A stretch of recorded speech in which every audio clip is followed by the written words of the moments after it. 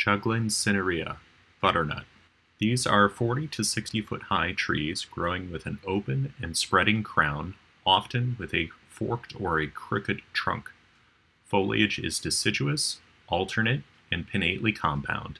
The overall leaf can be 10 to 20 inches long and contain anywhere from 11 to 19 leaflets, although as few as 7 leaflets are possible. Individual leaflets are 2 to 5 inches long and between 3 quarters and 2 and a quarter inch wide. The leaflet shape is oblong to lanceolate. The leaves are dark green and finely pubescent above, and pubescent and glandular on the underside. The petiole and rachis are covered with glands and sticky hairs. Young shoots are often sticky to the touch. Fall color is yellow.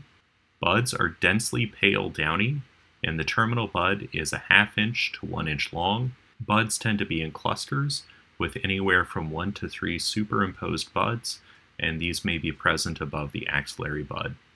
The stem has a bitter taste and will color saliva yellow when chewed, although this is not recommended. Pith stem is chocolate brown and chambered. The leaf scar of Juglans cinerea is large, conspicuous, three lobed, and has an upside down triangle with the upper margin slightly convex.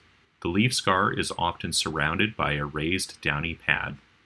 Ornamental features of Juglans cinerea include the ridged and furrowed bark with whitish ridges and dark gray or black furrows.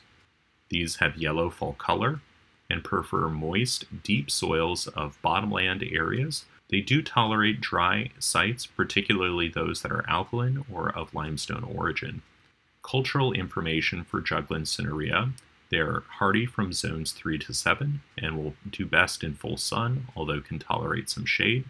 They usually will do well with a pH between 5 and 8 or acidic and alkaline conditions.